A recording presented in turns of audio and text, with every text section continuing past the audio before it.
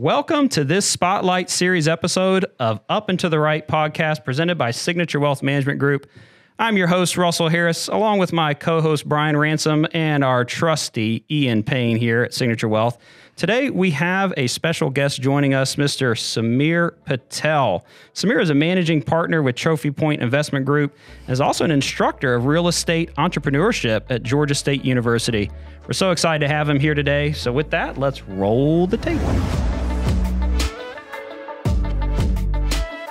Welcome to Up and to the Right, presented by SWMG, a podcast where employees and guests of Signature Wealth Management Group talk about what's new in financial news, financial planning topics that affect the everyday investor, and other relevant topics influencing the markets today. All right, Samir, welcome to the show. Thanks for joining us today, Yeah, man. glad to be here. Thanks for Yeah, thanks for appreciate having coming me. along. Man, I got to tell you, um, just a side note for those know, so Samir is one of my fellow alum of West Point here, and we uh, we knew each other a little bit at school, not not too terribly close per se, but I think we've gotten to stayed connected pretty well over the years, and it's been fun to watch your journey of everything you've been doing, man. You have been all over the place, really, doing Thanks. a lot of yeah, fun it's stuff. Been fun. It's been uh, I've been annihilated maybe a few times uh, in the business world, but it's been fun overall. Yeah, hey, I think that's how you learn in a lot of cases. You know, you got to take a little bit of risk sometimes, and sometimes you fall, but as long as you keep getting back up to dust yourself off, I think you're doing just fine. So, Thanks. The question I pretty have for you is: Have you paid your West Point alumni dues? my dues, I don't think I've paid them for this year yet. Oh actually, man, we've got to correct the that. local, but I, I'll definitely definitely get on that. I'm looking forward to some of the celebrations coming up. Uh, I'm hoping that Army plays Georgia Tech again sometime soon. That was fun to go to that game uh, several years ago. Yeah, when that Army was. Came here and they came to Georgia State as well too. Yeah, yeah, that's right. That's right. So now I assume you still went for West Point during that game, even though you're an instructor. At, I mean, we won't tell anybody. even though No, we're and I even this had bets public. going on, and I lost both bets. Oh no, yeah, that can be tough sometime with Army football. Although they've been doing pretty good lately, so I've been happy to see what they've been doing. But um, but anyways, um, so Samir, I mean, you've got an impressive background. You know, you're a West Point graduate. You led soldiers in combat. You went on to get your master's and an MBA. You've really become what I would classify as a serial entrepreneur. You know, you've been involved in a lot of businesses over the years. Um, so we're really just dying to learn about your journey. But before we get too far into it, can you tell us a little bit more about your background? How'd you get into all this?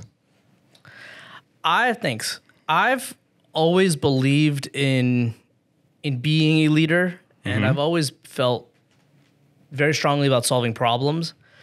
And those two core ideas translate really well into business and the military.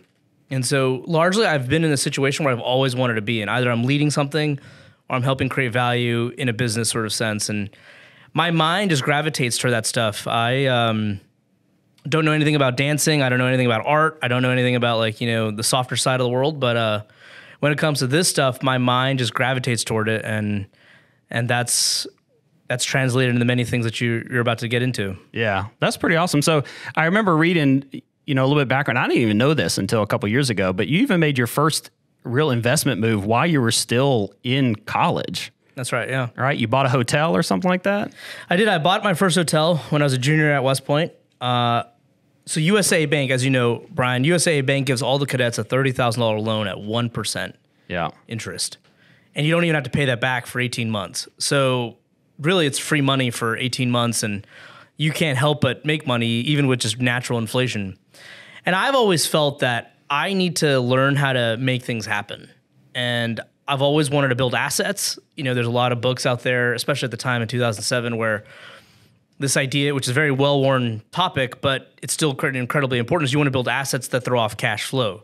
That's a traditional or a definition of, of asset. And I wanted to build assets. And I got this $30,000 loan from USAA, and I asked myself, what can I do with this money? I don't want to buy a car with it. I definitely don't want to put it in any any sort of depreciating asset like a car. And so I started asking a bunch of people what they got for real estate. And somebody said, "Hey, this couple's divorcing. The judge is kind of forcing them to liquidate their hotel. It looks like a good price. Would you be interested?" And me and my big mouth said, "Yeah, sure."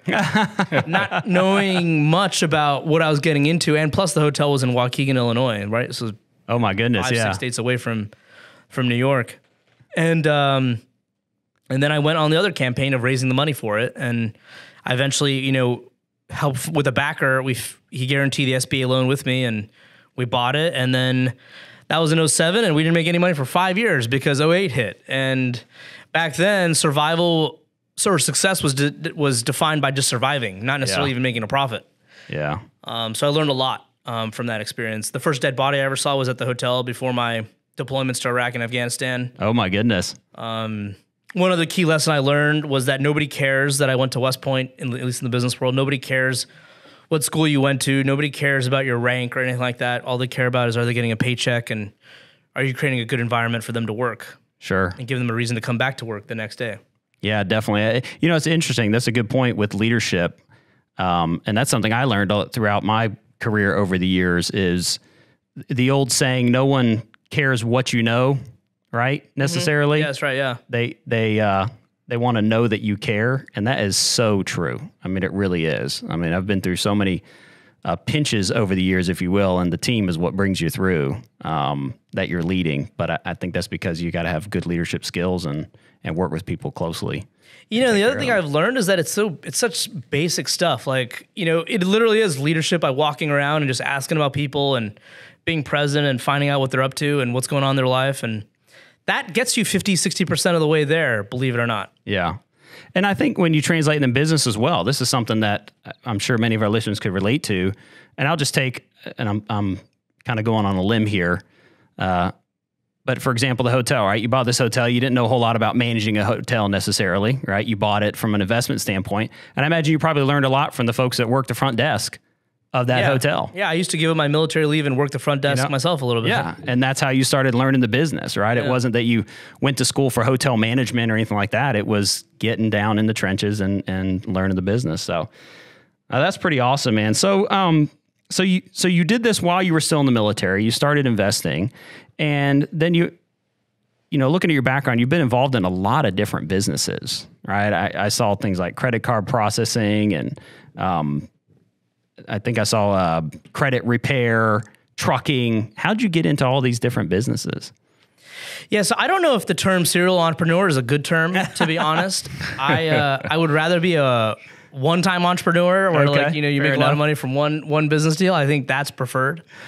Uh, but for us, uh, for us dummies, as I'll call myself, uh, I just have an intense curiosity, and I just found myself like really exploring and meandering through the business world to kind of find my fit, my what I really liked from an asset allocation perspective, my time perspective, what I'm good at managing, what I'm not good at managing.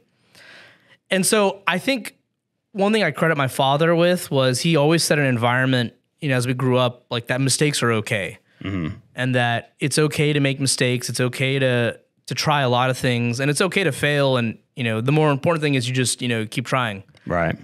And so that's what kind of what, what I found myself is like I was just so enamored with business that I just found myself excited by a lot of ideas, which is good for someone in their you know 20s and maybe even early 30s. But I wouldn't recommend that for someone that's in their mid 30s, mid 40s. That's that's the time I would define as a time for focus. But I, I just love the idea of of how money works and how business works, and so I just got myself in all this trouble, and um, yeah, and eventually, like you know, after like all that, all those adventures, I realized that lending and private credit is is what I like most, and that's what I've been able to scale over the last few years. Yeah. So so that's been interesting. So you really kind of were in a bunch of different businesses trying to figure out where your fit was, and you ended up landing basically in private lending, primarily focused on real estate, from my understanding. And so you're you're now with the, this group, you know, Trophy Point Investment Group, which I love the name, Trophy Point, right? Coming yeah. little West Point uh, analogy there, or what am I trying to say? You know, we actually started Trophy Point in 2015 with with three other partners, three of my classmates actually. Okay. Wow. And initially, we were just doing real estate deals on our own. Like we, you know, if a deal called for hundred thousand dollars and we didn't have it, we just 25, 25, 25 and make an investment. Yeah. And, and do that. And then eventually, people started asking. West Pointers started asking for loans, and so we would do a lot of deals on handshakes actually. Wow. And so Trophy Point was just for West Pointers initially, hence why we picked that name. Yeah. Uh, but now we've obviously become much larger since then. So, what is the reference there of Trophy Point? Oh yeah, thanks for asking. It's a monument on the academy grounds. Uh, there's like this big tall statue or obelisk, I guess. I don't know what you want to call it, but like this Yeah, big tall thing right. with a lady on top. And that area where it's situated on is called Trophy Point because like the view is amazing, and then like we've got all these trophies of of of defeated enemies of the United States. We put their cannons and stuff like that Oh, nice. around that around that monument. It's, it's right at the spot. It's, it's actually coined the million dollar view of the Hudson River. So, Yeah. a little history lesson West Point, the name refers to a bend in the Hudson River, a western point of the river. And back in the Revolutionary War, that was a very strategic spot because you could, uh, sailing ships have to slow down tremendously to turn that bend. And the, uh, the Americans realized very quickly that it was a very strategic point. So they fortified that area and they put a big chain across the river and put a bunch of spikes in it and uh, defended it, preventing the British from coming up. Because really, at the time, the British had, they basically would have divided the country in half at that time, uh, the way it was was posted. Plus, it's only about an hour, hour and a half north of New York City. So a very, very strategic point. And um, it's actually the longest garrisoned U.S. military installation in the country. Really? Um, yep. So it's it's been there a long time. That's also the area where, uh, although we don't like to mention his name, uh, Arnold Benedict uh, had his uh, treason. He tried to give up West Point to the enemy. Um, a lot of history there. If, for those of you listening, I don't want to go too far into it, but if you have never looked it up, I think it's definitely a, a neat uh, piece of American history. So this isn't uh, hardcore history with Dan Carlin. yeah, yeah. a little bit different subject here, but uh, but it's It's fun. So I, I love the name there. Yeah, but um, so you you you got into private lending, um, and then also started teaching real estate entrepreneurship at Georgia State. How'd you end up with that gig? So after the last business, going back to 2019, I sold my logistics business. And, you know, there are a lot of mistakes I made in that whole episode. And I realized that now is the time for me to like upgrade my education and go back into real estate. Um, so keep in mind that in t- 2010, 2011, 2012, I was already doing private lending actually on commercial properties, was adding to my hotel portfolio. I owned a debt collection business that collected debt on HOA, um, HOA debt actually. Oh, interesting. And then I meandered with stock trading, with uh, credit card processing, and some other businesses. And then I went into trucking. And I realized after the trucking business that, uh, or the logistics business, and it was 65 trucks. And so, you know, substantial. Uh, I grew from 2 million revenue to 9 million revenue Wow. between 2017 and 2019. And I sold it. But there were a lot of strategic errors that I made in that, mainly with regard to finance, actually. And I think finance, especially in today's capitalistic society, uh, governs 80% of the returns that you get. I don't think operational excellence is, is what it once was in terms of creating value. Anyway, I learned all these things, or at least these are these are theories that I had in my mind about how value is created in the world. And so I'm like, I should go back to school. So I went and I had time and I had, you know, some money laying around so I could afford to do it. So I decided to get my master's in commercial real estate at Georgia State. And it's a one year program and it's basically uh, at nights, Mondays and Wednesdays. So I was in class Mondays and Wednesdays from 5 p.m. to 10 p.m. And uh, that program, I had a lot of fun. I I learned so much. I reinforced a lot of my own working theories that I have. It uh, opened my eyes to different, you know, different ways of thinking and things like that. And I I credit that program with turning my life around, or at least the direction I was going professionally. And I had so much fun. They invited me to come back and teach. Actually, Wow, that's pretty cool. The student becomes a teacher. Yeah, I'm a proponent that, you know, you should not rush into getting a master's degree right after undergrad. I think there's something to be said about waiting four to seven years, four to 10 years after undergrad to go back and get your master's because then I have real context. Like when the instructor's saying something, I have like a, a life experience that I can attach to that Yeah. that makes the learning so much more fun.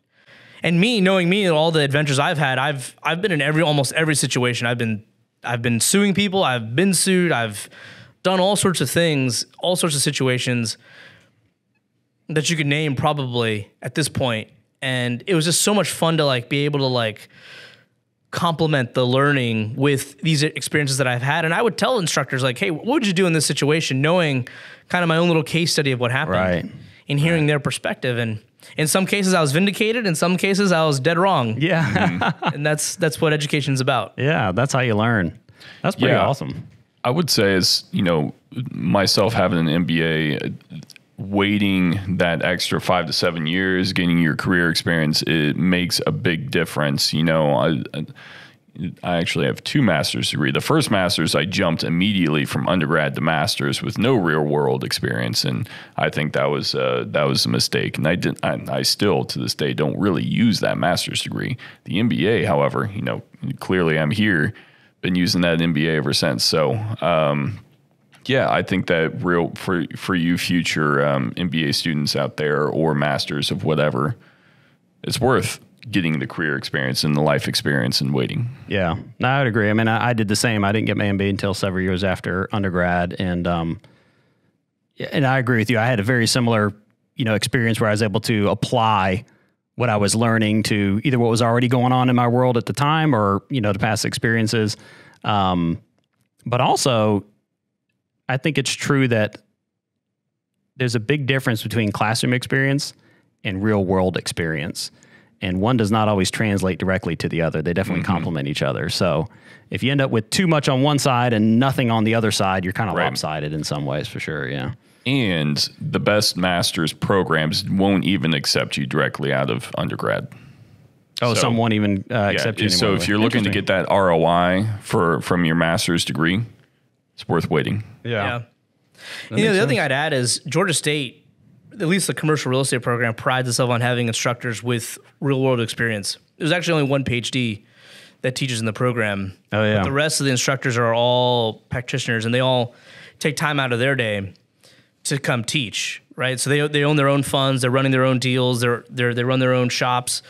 And that's amazing too. And I think if you're going to pick an MBA or master's program, you want to look at the instructor mix. Yeah. The PhDs definitely are important, but if you're looking for a more practically minded program, then you want to go to a program where it's taught by by real practitioners, right. people in the business that have done it. Mm-hmm. Yeah, well, makes, what inspired me actually. Like I, I really enjoyed that and appreciated that about about the, about the program, and they inspired me to say, look, I should come back and teach and and give back as well to the program. Yeah. Yep. Well, even to speak to that, I mean, you know, I just graduated undergrad at UGA, and the best class that I took my entire undergrad experience was the last semester taught by uh, it was a private equity class they had just oh, started cool. and it was taught by someone that uh, was a VP at a private equity firm here in Georgia, and it was you know not PhD. She just wanted to do it, and it, I got the most value out of that class that I got out of any class my entire time at UGA because it was someone that was taking the concepts and then applying real world experience or real situations, giving us case studies that actually happened, and we could go back and review what happened based on the decisions that were made versus what we thought should be made,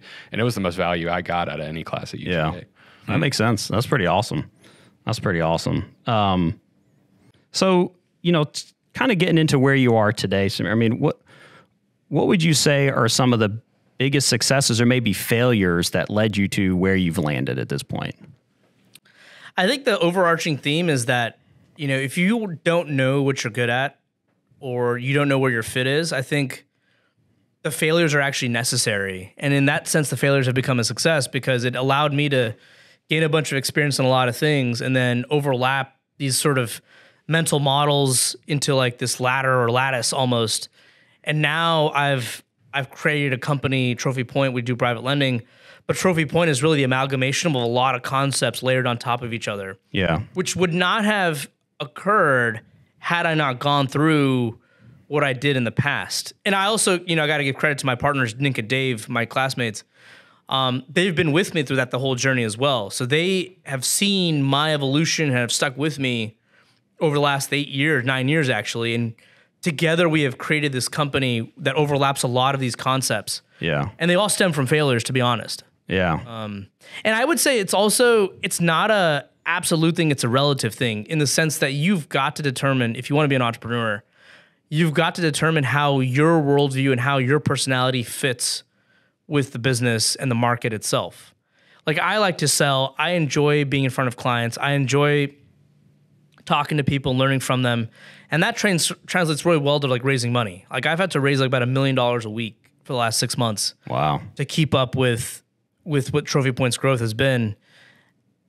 That's good for me, right? But if another person that doesn't like that, you know, private lending or that business would not be good good for them. Right. Right. So it is about finding the fit more than anything else. Certainly. Do you mind um, diving in a little bit um, on what exactly private lending is and kind of starting from the ground up and maybe explaining the differences between Trophy Point and, say, going to a bank and taking out a loan? Yeah, I'm glad you asked, actually. And so it's very important these days, too, that private credit, private lending is now probably the darling of the of the investment world, maybe. Um, but you know, basically, you can borrow money in two different ways, maybe three, three, three ways actually. You can go to a bank, you can walk in and talk to a loan officer and fill out an application, and the bank will take all your information and they'll go to a credit committee and you know a month, two months, three months later, you'll approve your loan or not approve your loan and all that. The second way is you can go to Wall Street. You can go borrow from like what's called known as CMBS, right? A mortgage-backed security where Wall Street packages up the money for you, and you now pay Wall Street basically. You borrow from them. That's CMBS. That's MBS. These are all mortgage-backed securities, right? And the third way, which my way, which is what I do, and my preferred way, is you borrow from private individuals or private groups of people that are not Wall Street or not a bank. And we're not regulated, we're private under the SEC definition. Uh, typically, we're all Regulation D type funds. Um, and so it's just really you're borrowing from a you're borrowing from a group of people or one person. And we get to set the terms of what we like to do, and we're not really beholden to anybody else. As on the lending side, we pick our clients that we want to lend to. We figure out what geogra- geographies we want to lend to. We figure out like what we like, don't like, and we get enormous flexibility. So, you know, when you're talking about it, you know, as kind of an asset class, you know, you have two two sides to it. You have the clients who are borrowing money from you, and then you have your investors, right? So you talked about raising money. Obviously, you have groups of investors that are pooling money together to be able to lend it out. So how how do you mitigate that risk? How do you work out your underwriting? You know, because I imagine the risk, of course, is that you loan money to someone and then it falls through and you don't get your money back somehow.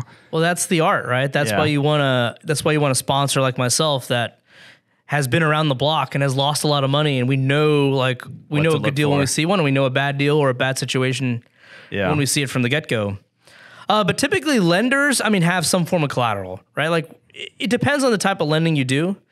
Uh, I also owned a uh, government contract lending business as well, and so I would lend on the receivables from the government contract, and my collateral would be literally the assignment of the contract or the proceeds being assigned to me, and that was a form of collateral. The government would pay me first, and then I would send the net proceeds back to the borrower after I got you know paid back.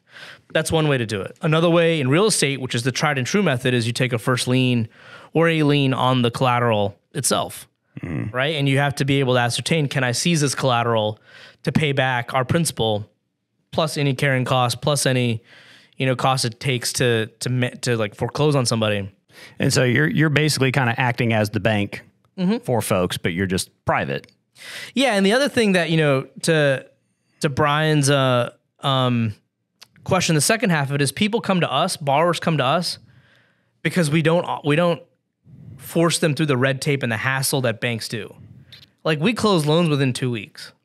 Like from the time someone calls us to the time we've actually closed their deal is sometimes ten to fifteen days. We've closed deals within 24 hours, actually, when a bank has started like all of a sudden failed to perform banks want a lot of paperwork. And I think a lot of it's because the loan officers themselves are not real estate owners. If you're a loan officer and you know how to evaluate an asset and you know how to do a rehab, chances are you're not going to be a loan officer. You're probably going to be in business for yourself. So the banks are not inherently equipped, in my opinion, to do this type of stuff because people need money fast. Good deals don't last that long.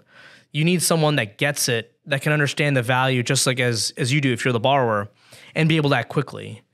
And there's a huge need for that, right? That's why we exist and that's why we charge higher too for the for the service. The service, yeah. So and and primarily the folks coming to you to borrow are for real estate investments, right? My particular fund, yeah, we do first lien only type real estate on single family and multifamily properties. So we'll we'll do up to 350,000 on single family fix and flips and rental properties and then up to a million, 2 million on multifamily properties. Gotcha. So really, folks probably come to you, especially if they're having to rehab it or something like that, because they can get money fairly quick based off what you're saying. Now they have the money are- to do what they got to do to get it, you know, long term. Yeah, rehabs are a particular challenge for banks and other lenders that are institutional because they like stabilize properties with predictable cash flows. Sure. And if you look at this from a finance perspective, you're really just trading in cash flows, right? That's what finance is at its core. Is finding out the cash flow, how stable is it, or we we call it volatility in some cases, and what does that mean for the investors? And typically, what Wall Street and institutionals do is they just arbitrage it, right? They charge you X, and they pay themselves Y, and there's a delta, right, based on the cash flow stream they like state all I say all that to say that Wall Street and banks like stability. And if you're trying to create value, chances are there isn't stability. And that's why you need lenders that can understand value creation and and how cash flow streams can be realized over time. Gotcha. And so you're really when you're analyzing this, you're you're looking not just at where it is at the moment, but where you would expect it to be based off that person's Yeah. business plan and things of that nature. And that comes from experience and time Right. and you know ability to know if that's possible or not, Yeah. or yeah. And it takes some guts too, right? Because I know that every borrower that we lend money to, if they fail in their project, I can take over and I can fix their project and Right. sell it off myself. You could do it for them basically, and Yeah. Gotcha. Okay. That makes sense. So it sounds very interesting. I think some of the other questions that we have, though, is kind of how the current environment is impacting your business, right? So mm-hmm. I'll start off, for example, with interest rates. You know, interest rates with the Fed raising interest rates, how has that impacted you? Positive, negative, and and and how do you see that affecting you long term? Let me ask you this from your seat. Where do you think it's done? Do you think it's negatively or positively impacted us? Well, it obviously depends on your perspective and which direction you go. Uh, I would think it's neutral, to be frank, because you obviously where interest rates are at, you know what your you know risk-free rate is, for lack of a better term, and therefore you can determine what you have to charge on the back end. I think the only piece that may hurt you is it can limit in some circumstances what someone can borrow, right? Before when they're looking at it from a cash flow perspective, they have to cash flow more on it in order to be profitable because the cost of borrowing the money to get there is is higher. That would be my guess. So it's. Do you want to take a shot at it? Yeah, the, the, my guess is you probably have um, a few more opportunities than you otherwise would have because uh, lending officers at the banks have been tighter and tighter on the amount of credit they're willing to lend to consumers. Um, and, uh, you know, people, the demand for, especially for people my age and younger, to want to buy homes is still very high um, they just don't necessarily they they need a little bit more help from somebody to be able to to be able to purchase their first home. Yeah. So I would say Brian is more correct. Yeah, that makes sense. Yeah. The banks. So interest rates are really just a mechanism to remove liquidity from the markets at the end of the day, right? right. M2 money supply was very high uh, for obvious reasons. Um, now they're trying to take money out of the money supply, and the way the Fed does it is through banks, as you guys probably know. So they want banks to lend less, right? And what it's done is that it's opened up a huge opportunity for private lenders, private credit now to fulfill that shortfall. And that is what is happening. Our volume has has basically increased substantially we're on track to probably do 75% more loans in volume at least than we did last year. Wow. And we did $40 million of loans last year. Um, this year we'll probably hit 60, maybe maybe 75 million. Wow. Maybe even 100. Depends. And It's still we still got four or five months left in the year. Um, all that being said, we reject more loans too. So you're more correct in one sense is that we also want to look at the back end because I have to consider who is the end buyer, who's my real exit on this. Right. So to your point, it is who's going to be the buyer and can the buyer afford the flip or the rental property as is on the back end 9 months from now when my borrower wants to exit. Let's say they're flipping a property. I have to consider that. And so what we have done is we've t- we've dropped or increased our standards of the LTV, meaning like we'll lend at a lower LTV. Yeah. Um, so we now have a more choose your selection of loans to make, and they're actually in some ways more high quality because I don't have to compete with with banks now for for these loans. I get to really say what we want to lend. Yeah. Do you mind defining LTV for the audience? Yeah, LTV is loan to value, right? Everybody, you know, it's a pretty basic term in lending, but it's really, you know, loan to value. It's a percentage of how much I'm going to lend against the perceived value of the property. And value can be defined in a number of ways, right? Like you can use an appraiser, you could use comparables, you could use the income approach, you could use the replacement cost approach. You can use all these approaches to valuing a property and that is that is an interpretive thing. Sure. Um, we use a comparable based approach. We like to see properties that have traded within the last 3 months of uh, comparables of that have traded within 3 months of our subject property, meaning that like is there an existing market for these homes right. lately, right? Because the interest rate environment has altered how property trades in in various cities and markets, and it's a very hyper local game on top of that. So uh, we like to be more conservative, so we lend about 65, 70 percent of LTV of the after repair value of what we think the property is going to be worth after the repairs are done. Gotcha. Okay. So, what do you, um, what is your perspective on what the housing market has been doing over, you know, the, it was obviously very hot in 2021. It was very cold in 2022. Where's it at in 2023? Uh, it depends on who's who's defining it hot and cold. Uh, I think The buyers, I mean, yeah, it's been tough for buyers, right. Uh, which is good for for us actually. Good for sellers. It's good for sellers and it's good for lenders too, right? Because it props up the values of our underlying collateral. First of all, uh, I would say that it is sort of shocking a little bit what's going on. So we actually contemplated pausing lending um, late 2022, early 2023. But then it emerged because you know typically you know if you just look at it from a math perspective, if interest rates go up, asset value should go down, and that is happening for a lot of asset classes, especially office, uh, maybe even hotels, def- maybe even retail, a lot of things, right? Because the value goes down because the borrowers can can only afford so much of debt service when the interest rate cost is higher. Right. But what's happening in residential real estate is that a lot of people, if not everybody, I mean, kind of have to be dumb not to have done this. But in between 2019, 2020, 2021, there was a lot of refinancing going on at 2.5, 3%, 4% rates. I mean, my mortgage is 2.8%.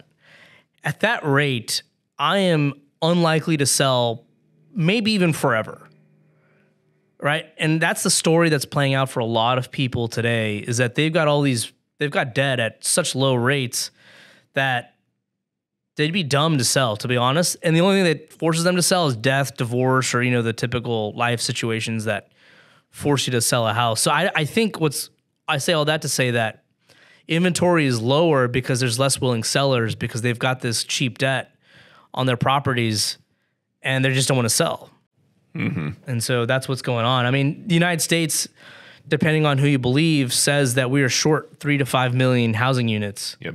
Um, for people. which we've talked about this several times before on this podcast and in our our mar- market update videos but that's a we are constantly living in the shadows of the global financial crisis in 2008 right where they were building 2 3 million homes a year mm.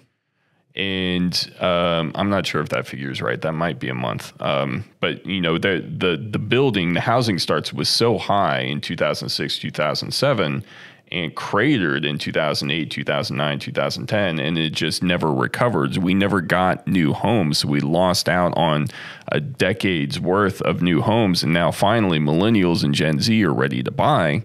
There's no new homes to buy. Yeah, and on top of that, you know, there's this thing called NIMBYism that's going on in a lot of markets, which is not in my backyard, which is what it stands for. And municipalities are less likely to approve housing development because they want more luxury housing or they want housing that supports greater property tax rolls. And that's cutting out a lot of people or a lot of homes that would have been bought by people, you know, because the average income in America is probably 50 to 75K for Right. the vast majority. And and a lot of existing homeowners don't want supply in their own markets. Yep. So Yeah, tell me about it. I live in Athens, Georgia, and it, I don't think they've had a new housing development in years. Really? But they will start a brand new student apartment like every other year. So, yeah, so you've got all these things layer on top of each other. It's created this sort of situation where there's a lack of housing supply and do I see it unwinding? I don't think I see it unwinding at least over the next five years. Mm-hmm. Uh, I hope I'm wrong to some extent, but also I'm benefiting from my fund at least today on that on those dynamics. Yeah. Yeah. Yeah, it is interesting how that supply demand curve really Yeah. has played out over the last 10, 15 years since 8 Mm-hmm. Um, I know I see a lot of construction where I'm at, but it's almost like they can't build homes fast enough. I feel like they're getting filled the minute they build them. So, Yeah, and you've got metrics like anybody can look it up, right? Like you go into a market and you look up average days on market, and homes, depending on the market, are being scooped up pretty quickly. Yeah. Within 30 days, the vast Yep. majority of them. yeah, they're still moving really quick. And the other metric we look at is uh, what is the final sale price as of as a percentage of of initial listing price, right? So you want you want to see you know homes selling for ninety nine percent, ninety eight percent of their list price. You know, before you know 2021, homes were going at 103, 105 percent of list price, meaning that they were getting offers higher than Right. than they initially listed for, and that was a signal of how how competitive it was. And ninety eight percent of list price is still pretty good. Oh, yeah. Actually. It's really good. Yeah, so I guess the end result, you know, interest rates shot up from two and a half to seven percent on the mortgages on the thirty year. Uh, economists were expecting some sort of you know housing sell off, which you somewhat got. You know, housing is down year over year. Um, but the end result is because of the demand from the younger generations, the end res- and, and the lack of supply within the housing market, the end result is the housing market is remarkably resilient. Uh, housing starts to starting to tick back up, and uh, home prices are starting to tick back up. Yeah. Well, remember in 2000, you know, 2004, 5, 6, and 7, leading up to the financial crisis, the underwriting on getting people into homes was pretty terrible, right? You got the ninja loans, which is no income, no Right. job. You know, you got all that. And that's what caused the great sell off in 2008 is people couldn't afford these homes because they shouldn't have been in the homes Right. in the first place. Right. Now, fast forward to 2023, we've had stronger underwriting in homes. And on top of that, we've also added about probably 25, 30 million more people as a country, too, in terms of population. But coupled with what Brian said, not as many housing starts.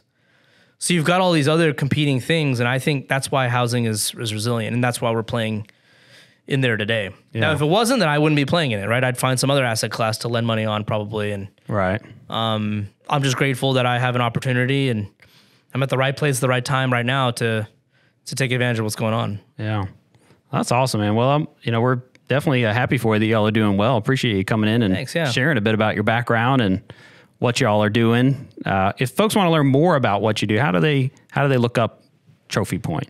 Yeah, just go to trophypointcapital.com and all our documents are there, our track record and all that stuff is there. We've done almost $100 million of loans without a single default Oh wow. across 460 loans. And so we're very proud of that. Yeah. Um, And then you have access to all my quarterly letters as well. And so I my quarterly letters are usually six to eight pages long, and I think maybe only one out of ten people read them out of my investors. I've got 150 investors. But for the one percent of them that do read it, I uh, you know I enjoy espousing my thoughts on on a lot of the stuff we just shared today. Actually, yeah. Well, that's awesome. Well, really appreciate you sharing with us today. Any final thoughts? Yeah, I would say that, you know, you it depends on who you are, but if if you're someone of wealth and you have you're not worried about any like existential crises like, you know, divorce or death or health or anything like that. I think this is a good time to pause and reflect on like what money means to you because what I've noticed and I you know, I'm in the same business as you, right? Like I am raising money from people and I'm trying to convince them to allocate capital to me. And you guys are probably trying to convince people to allocate capital across a variety of asset classes using your expertise. And I think the single biggest thing I would tell older or you know investors or people with means is like you don't want to risk money you have for money you don't need. And I see a lot of investors getting like caught up in this relativism like oh the one asset class is giving us 15% or, or potentially projecting 15% returns. This one's only giving us 5 6 this other thing over there is only giving us seven to ten percent, like my fund. And I I would say just think about what your real goals are and what the real money what the money actually represents because it's not about the money, it's about what the money helps you do. Right. And I think you'd want to allocate your capital in ways that helps you live your life and not get caught up in and trying to earn like two, three extra points of yield. I don't think it actually matters. In my opinion, obviously, you know, a compounding graph will tell you otherwise, but I don't think two to three points of extra yield with extra volatility is worth it in these times. Yeah. I think you want stability and I think you want, you know, an area where like the money is protected. Yeah, it's a good thought. It's a good thought. Well, great. Well, um, thank you so much for joining us today, man. I really appreciate you coming on and sharing with our Likewise, yeah. audience. And I think we all learned a little something today. So really appreciate that. Um, and for those folks listening again, you know, feel free to check out Samir and his group there. Um, and as always, too, if you're interested in learning more about our firm, uh, what we do, who we work with, etc., just visit our website www.signaturewmg.com. Uh, and you can also access the contact us page to reach out, ask us any questions, or let us know who else you want to hear from out there. We'd love to have uh, more folks on the podcast. So thanks again for listening. We look forward to checking back in next episode. Y'all have a good one. From all of us here at Signature Wealth Management Group, thank you for listening to the Up and to the Right podcast presented by SWMG. We hope you enjoyed the show, and we welcome you to continue to tune in as we release new episodes. In the meantime, you can stay up to date with relevant financial news by connecting with us on LinkedIn, Facebook, Twitter, and Instagram. We are Signature Wealth Management Group on LinkedIn and Facebook, at Signature WMG on Twitter, and at Signature Wealth on Instagram. You can also visit our blog on our website at www.signaturewmg.com/blog. We look forward to your continued support and engagement. The information in this podcast is educational and general in nature and does not take into consideration the listener's personal circumstances. Therefore, it is not intended to be a substitute for specific, individualized financial, legal, or tax advice. To determine which strategies or investments may be suitable for you, consult the appropriate qualified professional prior to making a final decision. We suggest you discuss your specific tax situation with a qualified tax advisor. Investment advice offered through Signature Wealth Management, a registered investment advisor. Signature Wealth only transacts business in states where it is properly registered or is excluded or exempted from registration requirements. Information presented or believed to be factual and up to date, but we do not guarantee its accuracy and its publication and are subject to change. Information should not be regarded as a complete analysis of the subjects discussed. All outside guests of Up and to the Right podcast are not affiliated with Signature Wealth Management Group, and their opinions are their own and do not reflect the views of Signature Wealth Management Group. Past performance is not indicative of future results.